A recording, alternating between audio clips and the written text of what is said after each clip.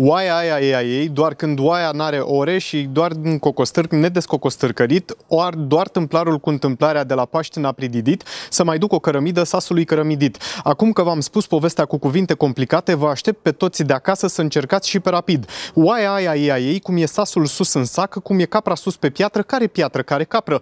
Crapă capra, crapă piatra și crăpat chiar și în patru, când cosașul îți spune ție, fân cosit la pălărie. Pe cosaș îl cheamă Sașa și e sas din sas în sas, doar cu cele șase case este într-un mic impas.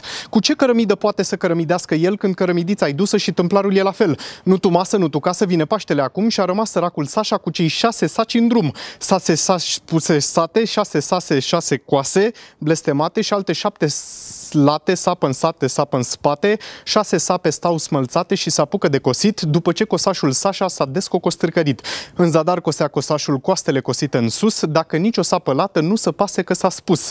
Sa, Sașa e cosașul ăla ce cosea în sus și în jos, nimic nu se leagă astăzi, fiindcă toate sunt pe dos. Sașa e celebru astăzi, șase saci în șase saci, au ajuns cu mulți la mulți de sigur, dar niciunul n-a rămas. Și acum e trist săracul că a prins numai doi raci, racul astronom din cosmos în tabără a venit, dicția să-și o ascuțească cu un text bine gândit. Racul de la răcărie a acordat subiecte tari, restul racilor de sigur au răcit și au rătăcit, dar au spus în cor cu toții toartă, roată, risc rotar, ritm, regret, rocadă rundă, reguli, ruguri, roluri mari, raft în rai bretea rotundă, doar răbdare să mai ai. Ca să spui până la capăt exercițiul complicat, ce a fost cris ca să-ți încurce limba într-un mare fel, fiindcă titiritva titva s-a cam destitirit într-o altă titiritvă cum nu s-a mai pomenit. Sunt Liviu Șoșa și asta este tot.